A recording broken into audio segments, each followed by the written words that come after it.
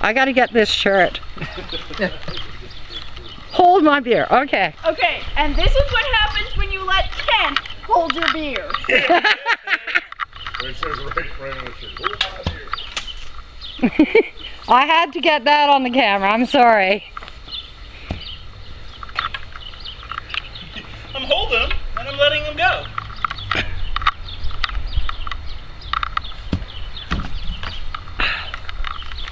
Sounded like it went in something. Yeah. No, hit the wheelbarrow. There